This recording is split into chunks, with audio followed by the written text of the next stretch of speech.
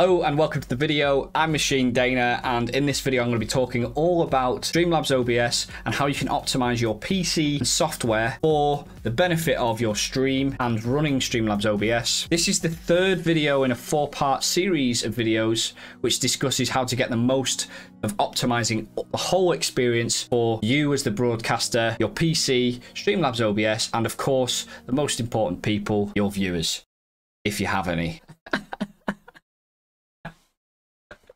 So I did want to do one big long video with all these different things in it, but I realized actually it's better off chunked into the four different videos. The first video was all about Streamlabs OBS itself and the specific settings within Streamlabs OBS, linked in the description. The second video was all about what you can do whilst you are live, the different things you can do to streamline things specifically whilst you're broadcasting or planning that you can do before you broadcast. The fourth video is all about game specific settings that you can change that will optimize the gaming experience if all of the first three videos have not worked for you. So in this video, I'm going to be going through a number of different tips, how you can run your PC better, software tips, different things you can just try if you're experiencing issues with Streamlabs OBS. This also applies to OBS Studio and other streaming software. Because a lot of this stuff is quite general stuff. So if you don't use Streamlabs OBS here, this will probably work for you as well. Although I use Streamlabs OBS, so the examples I'll give will be Streamlabs OBS specific. I'm saying Streamlabs OBS a lot here, aren't I? A lot of people make the mistake of thinking, oh, I can't get my settings right within Streamlabs, uh, so the issue must be Streamlabs. A lot of the time, actually, the issue is a number of other things that it can be, not just the software. It's a broader picture, and that's what this whole video series is all about, educating people a little bit. I just want to say as well, at the moment, I'm not sponsored by Streamlabs OBS. Maybe one day they'll sponsor me. Who knows? If they don't, maybe I'll dump the software like a heavy stone in a light water in the ocean in a in a pond. It, um, how have they not offered me a sponsorship yet? I've done so many videos about Streamlabs OBS. Oh my god. Come on, Logitech. As always, if you find it useful, feel free to thumbs up the video. I'd very much appreciate it, and it does help me. Uh, but it also helps other people find this video when they're searching for the same things you search for. Feel free to subscribe to my channel. Finally, if you want to check me out on Twitch, feel free to at twitch.tv forward slash machine daena. Let's go. Okay, so we're going to jump straight into this. This is all about how you can change things on your PC, software and hardware related stuff to free up essentially resources for Streamlabs OBS to run better. So the first thing is to go into uh, game mode. Do a search on Windows. It's only applicable to Windows. If you're a Mac user, then why are you even streaming on Mac? It's a joke of a... Why are you even paying three times the amount of money to get a piece of hardware that monopolizes your data.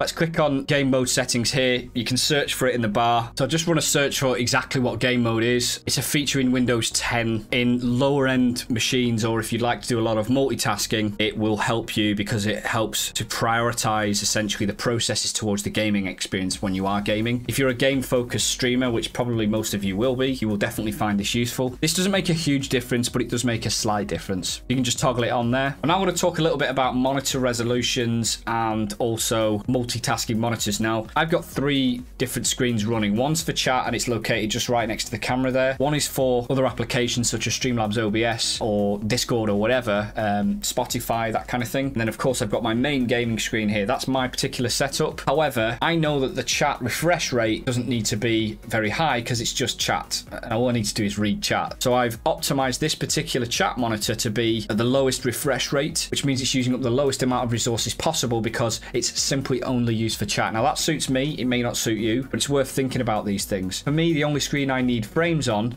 and a good frame rate is anything that I'm gaming on, and particularly when I'm doing FPS games. Even strategy games, you don't really need to have a high refresh rate, although obviously it can enhance the gaming experience massively. If you have got multiple screens, I would recommend only your primary screen having the high refresh rate, and the other monitors you can choose to reduce the refresh rate on, and also the resolution. Now, I wouldn't recommend doing this if you don't need to. This is only a situation where if you find that you're struggling and your hardware is not quite up to scratch, or perhaps you're just trying to get little gains here and there, one of the easy gains you can get is to reduce the resolution on your monitor and, of course, the refresh rate on your monitors that are not being used. That brings me to the next point that if you are experiencing really bad issues with your primary monitor, that is also a worst case scenario thing that you can do. You can right click on your desktop click on display settings, but I've gone into the specific monitor settings using the buttons on the monitors to reduce the frame rate on each of the monitors individually. You can change display resolution by scrolling down here. Microsoft have got the 4K on my primary monitor, but if I was experiencing any significant issues as a last resort,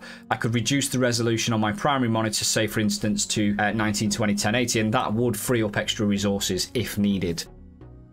You can click into graphics settings and you can hardware accelerate GPU scheduling. If you're using an NVENC setting on your GPU to do the encoding process for your stream, I would strongly not recommend having hardware accelerated GPU scheduling on. I would turn that off because that is taking load away from your graphics card that can then be used to process the frames before uploading and encoding up to Twitch or YouTube gaming. You've got NVIDIA's control panel here. You can open that up or do a search for it. But rather than going onto your monitors, you can also go into the configuration settings for your monitors within NVIDIA. So here within display and change resolution, you're able to change the, uh, the actual resolution of the monitor rather than using the Windows version of doing the same and also the refresh rate here. So for my 27 inch 4K primary gaming monitor, I've got it set to 144 Hertz. But as you can see for this secondary ultra wide monitor, which, which is running separate applications, I'm still still running a pretty high resolution, the native resolution of the monitor, but it's not actually necessary for me to do that. I could easily reduce that if I wanted to, if I was experiencing PC issues. But what I have done is I've reduced it from 100 Hertz down to 60 just to reduce the refresh rate and the load on the PC. And finally, for the chat panel one, I've set that to the, I actually could set that here to the minimum refresh rate and if necessary, change the resolution of that as well. A very quick thing you can do here, it's just a bit of a quick win really, but a lot of people have a lot of processes running in their tray here. And these are kind of background processes that are running that might just take up micro pieces of your PC's performance. Go on your task manager, go on to startup here. What you can do here is just click on the status to sort by the enabled and disabled. L go through the enabled and check which of these applications you can just not have start up when your PC starts up. For instance, like, I don't know, Voicemod. Do I need Voicemod starting up every single time I turn on my PC? Probably not. Actually, that would be pretty fun. That's a bad example. OneNote. Do I need to have my notes up every single I don't even use OneNote. Why would I want that? Of course it's going to be disabled. However, that said, you can also review your disabled ones for any that are quite important. And all you simply do is right click and enable if it's disabled or right click and disable if it's enabled. It should show here the startup impact that it has. The wider issue here isn't so much the startup impact, okay? Yes, it's going to have an impact on how quickly your PC boots up, but that's not what this video is about. This video is about how many applications are running to enable the core application, which is Streamlabs OBS and your games to run better. And if you've got a load of crappy applications that are not being used running in the background because you've allowed it to start up when you started up your PC, then of course they're all going to be fighting for the PC resources. And by the way, still on the Control Alt Delete task manager here within your processes that if there are any applications that you're not needing to use, for example, Word, here, I could choose to just kill that. It's only really worthwhile doing this if you're experiencing ad hoc issues. I wouldn't recommend doing this at the start of every single session that you have, right, I'm going to kill a load of applications,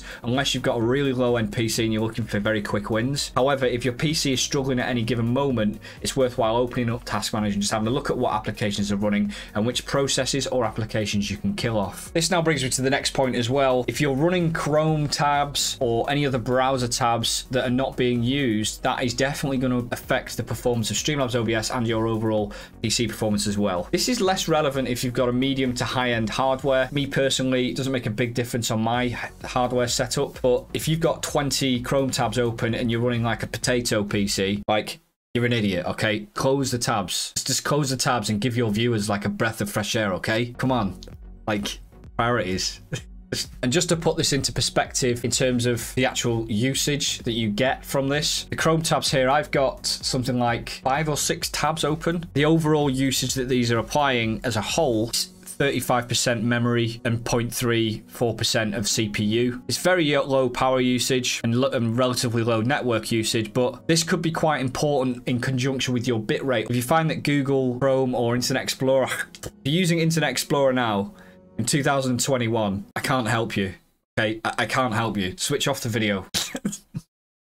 But you get the picture here. We can right click and end task for any Chrome tabs that we have or just individually close down tabs that you're not using. Just brings me to another point as well. If you're running Streamlabs OBS and also Stream Manager for Twitch, you don't need to be running both of those things. Everything that runs within Stream Manager, virtually everything is contained within Streamlabs OBS, the key information that you need. So if you're finding that your PC is struggling with all the different processing applications, you can possibly try simply closing Stream Manager on Twitch, which means you can close Chrome altogether and just use the chat panel within Streamlabs OBS or OBS Studio or whatever streaming software that you use. It seems kind of obvious, but when you've got a million and one different things going on at the same time, and of course you're entertaining your viewers and so on, you may not necessarily think that the experience for the viewer is reduced because you've got so many other applications open. Brings me on to the next point, which is any applications that you are not using that are currently open, just simply kill them. You know, Excel, uh, you've been filing your accounts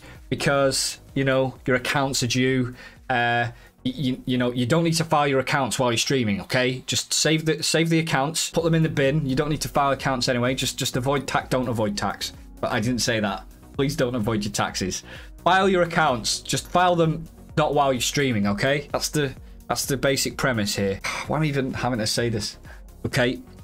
Porn tabs. You don't need them right pictures of your little doggy and kitty you don't need to have them open unless you're showing your stream of course like shopping for some kinky underwear for your wife, okay? Just do it after the stream. Don't do it while you're streaming. So there you have it. Hopefully I've given you some idea on extra things you can do to improve the performance of your PC with the objective of stabilizing your stream and providing a great experience for your viewers and your broadcast. Remember, streaming's not just about how you optimize your Streamlabs settings or your your OBS studio settings or whatever. It's about the whole picture. You may have the perfect software settings, but be killing your PC with a number of other different things here. And that brings me to the final point, which is check out the other three videos in the link in the description below. Like, subscribe, see you later.